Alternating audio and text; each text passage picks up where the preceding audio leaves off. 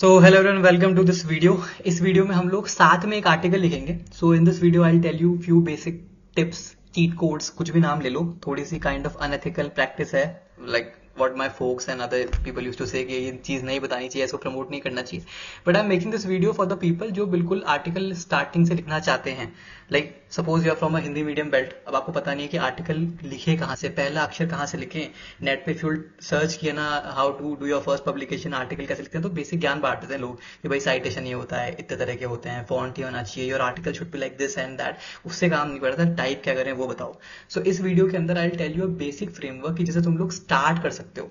है ना? ऐसा कुछ नहीं है कि तुम लोग ये वीडियो देख लोगे और तुमको ऐसे बिल्कुल सब कुछ आ जाएगा एक बार में but you can start writing it will give you confidence तुम्हारा एक बेसिक आर्टिकल का स्ट्रक्चर यही के ही तैयार हो जाएगा अगर इस वीडियो को पूरा देख लिया तो। ठीक है?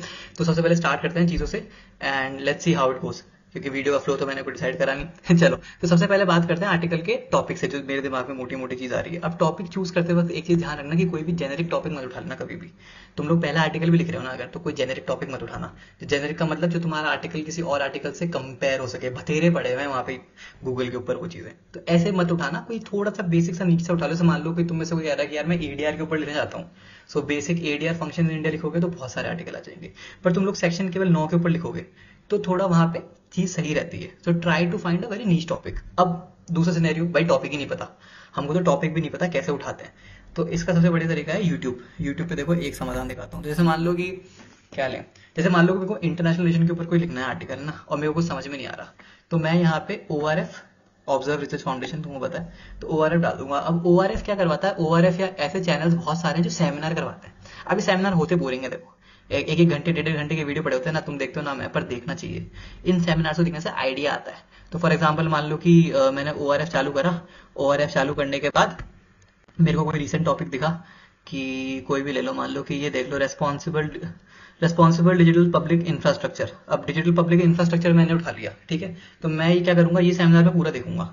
ये सेमिनार देखने के बाद मैं कुछ बुलेट पॉइंट्स बना लूँगा। जो इसमें भाई बातें बोल रहा है ना, जो बंदा बोल रहा है, उसको मैं मेरे कॉपी पेन पे लिख लूँगा डायरेक्ट वर्ड पे टाइप नहीं करूँगा। तो मेरे को एक तरीका तो ये है टॉपिक उठाने का, ठीक है? अब सपोज़ तुम लोग ऐसे करके टॉपिक ढूंढ सकते हो। तुम लोग वो टॉपिक केवल वहाँ पे यूट्यूब पे लिखो, जो भी सेमिनार कॉन्फ्रेंसेस वगैरह आती है, उन कॉन्फ्रेंसेस को पूरा देखो, उससे नोट डाउन करो, फिर अपनी रिसर्च आगे फर्दर चालू करो। अब होगा क्या कि तुम लोगों में से काफ़ी लोगों के पास पेड सॉफ्टवेयर नहीं होंगे? जैसे मान लो जब मैं आर्टिकल लिखता हूँ so I use JSTOR Westlaw Asia क्योंकि मेरे पास उनका एक्सेस है। Because my friends are there और my college is providing something तो ज़रूरी नहीं है कि तुम्हारे पास नहीं तुम लोग लिख नहीं सकते।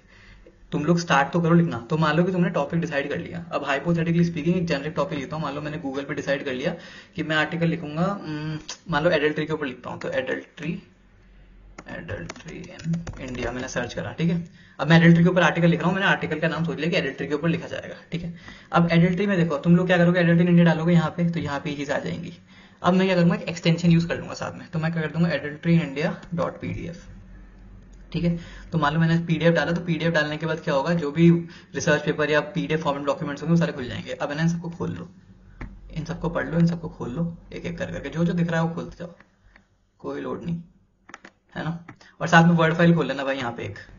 ठीक है? वर्ड फ़ाइल खोल लेना। मैं तुमको स्ट्रक्चर बता रहा हूँ कि देखो, ऐसे स्टार्ट करो, पहला तुम्हारा आर्टिकल यहाँ से चालू हो जाएगा लिखना। है ना? इसको उठा के मत चेप देना, क्योंकि तुम लोग ऐसा कैसे डालोगे ना उठा करके तो कहीं पब्लिश होगा नहीं कि भाई कॉपी पेस्ट कर दिया, थोड़ा बहुत चेंज करोगे। अब ठीक है, मान लो मैंने एडल्ट्री के, ये तीन आर्टिकल खोल लिए, ये तीन मेरे, चार मेरे सोर्सेज हो गए कि भैया मैंने चार सोर्स पढ़े, इन चारों को मिला के मैं आर्टिकल लिखूँगा, ठीक है? अब कॉमन कॉमन मेरे को मोटा मोटा क्या दिख रहा है इसमें? भैया पहले इंट्रोडक्शन दिख गया, ठीक है। अभी मैं केवल स्किमिंग कर रहा हूँ स्किमिंग का मतलब होता है फटाफट फटाफट बीच बीच में पढ़ना। तुम लोग ऐसी सी में जब रिसर्च इंटर्नशिप करते हो कुछ भी करते हो तो स्किमिंग ही करते हैं फटाफट। फिर मैं देख लिया चैलेंजेस टू एडल्ट्री ठीक है, यहाँ पे ये तीन से चार चीज़ें मैंने हेडिंग ऐसे करके पढ़ ली। ये भी मैंने आर्टिकल खोला, यहाँ मैंने इंट्रोडक्शन देख लिया, यहाँ मैंने ओरिजिन डेवलपमेंट देख लिया एवोल्यूशन इन इंडिया देख लिया, ठीक है, मैंने हेडिंग देख लिया अभी, ठीक है तो मान लो तुमने ऐसे करके हेडिंग देख ली हर आर्टिकल की। अब तुमको क्या करना है, यहाँ से आता है मज़े का काम शुरू, है ना? यहाँ से आता है अपना दिमाग लगाने का चीटिंग का काम शुरू, ठीक है? तो चलो ठीक है तो बहुत छोटू सा ऐसा तो कुछ मतलब नहीं है। तो अब मैं क्या करूँगा, मैं इनकी कॉमन कॉमन तीन तीन हेडिंग उठा लूँगा। तो पहली हेडिंग मैंने इंट्रोडक्शन देखी मान लो कि मेरे को तीन हेडिंग कॉमन देखी, मैं ये आर्टिकल ऑब्वियसली पढ़ नहीं सकता इस वीडियो के अंदर पूरे पूरे। तो मान लो कि मैंने सारे आर्टिकल पढ़ लिए, मेरे को तीन कॉमन हेडिंग मिल गई, ठीक है? तो पहला तो मान लो मैंने इंट्रोडक्शन उठाया। तो मैंने इंट्रोडक्शन की हेडिंग डाल दी यहाँ पे। एक मेरी हो गया इंट्रोडक्शन ठीक है? दूसरी मैंने हेडिंग उठाई, इनको पढ़ा। सब अभी फ़ोन करेंगे। दूसरा मैंने क्या उठाया? हाँ क्या करा था? इंट्रोडक्शन उठा लिया। फिर मान लो मैंने लिख दिया एडल्ट्री द मैट्रिमोनियल ऑफेंस तुम लोग हेडिंग सब पढ़ लोगे ना? तीनों आर्टिकल पढ़ लोगे तो खुद की एक बेसिक हेडिंग से तुम लोग फ्रेम कर सकते हो कि हाँ भाई, तीनों आर्टिकल में ये कॉमन चीज़ थी तो मेरे दिमाग में ये इस इस हेडिंग के अंदर जाएगा। इतना दिमाग तो तुमको लगाना ही पड़ेगा देखो, है ना? तो यहाँ पे तुमने दूसरी हेडिंग डाल ली उस दूसरे आर्टिकल से। और तीसरी हेडिंग मान लो मैंने यहाँ से डाली रिकमेंडेशन या वे फॉरवर्ड रिकमेंडेशन है तो वे रिकमेंडेशन का नाम चेंज करके। क्या नाम डालू? वे फॉरवर्ड डाल देते हैं मान लो, ठीक है? वे फॉरवर्ड स्पेलिंग को छोड़ो। अब मेरे पास ये बेसिक्स तीन हेडिंग आ गई। अब मैं क्या करूँगा? जो यहाँ पे इंट्रोडक्शन उठाया था ना मैंने, मान लो कि मेरे को ये लाइन काफ़ी अच्छी लगी इंट्रोडक्शन की तो मैं इसको यहाँ से उठाया। इसको करा कॉपी ठीक है? अभी सुनना, अभी बोलना कि कॉपी पेस्ट सिखा रहा था यहाँ से ये कॉपी उठाया, फिर वहाँ पे गए और इसका इंट्रो उठाया। मान लो कि मैं पढ़ नहीं रहा आर्टिकल तुम बता दूँगा, ऐसे करना है है ना? नैना गालियाँ देखी मेरे को। ये उठाया, यहाँ से उठा करके, ये उठा के ये डाल दिया। ऐसे ही करके मैंने दूसरी हेडिंग के अंदर, तीसरी हेडिंग के अंदर भर दिया ये। तो कुछ मैंने पोर्शन यहाँ से उठाया, कुछ मैंने वहाँ से उठाया। ऐसे करके सेम मैंने ये करा कि मान लो ये कॉमन हेडिंग में फॉलो करा था तो इस आर्टिकल का उठाया यहाँ से, इसका उठाया यहाँ से, उनको चिपका दिया। अब ये आर्टिकल तो रेडी नहीं है अभी। अभी ये बचा हुआ है, ठीक है? अभी अपन ने आधा काम कर लिया। अब ये आ गया। अभी तो पूरा की पूरा प्लेजरिज्म में आ जाएगा तुम्हारा। तो अब तुमको क्या करना है कि ये तुमने कॉपी करा। कॉपी करके अब जाओ क्विल बोर्ड पे, ठीक है?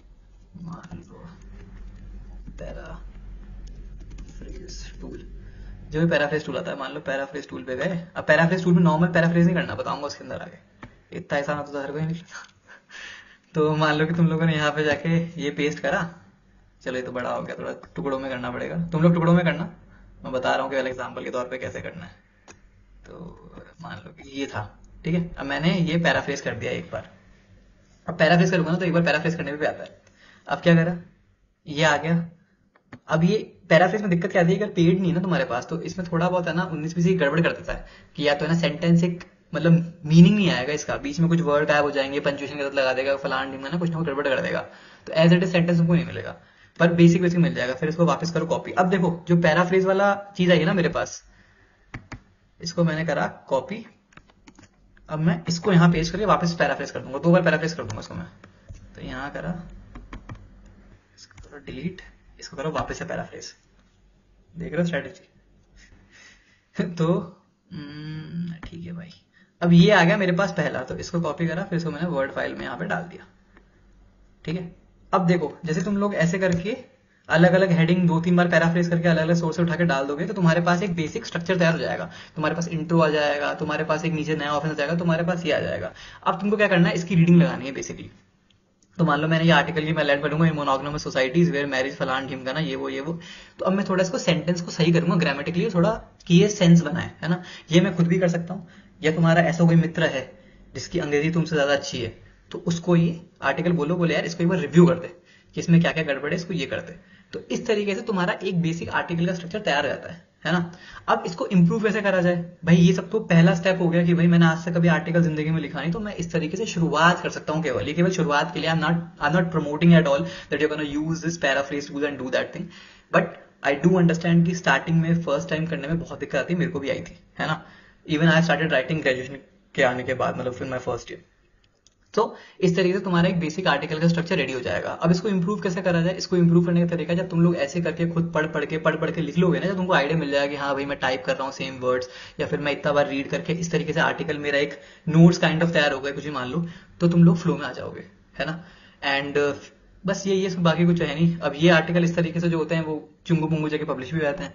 सो अगर तुमको पब्लिश करवाने हो तो वो कर देना। पब्लिश कराने में कुछ नहीं है नीचे यहाँ पे जाके, इसका यू ऐड कर देना।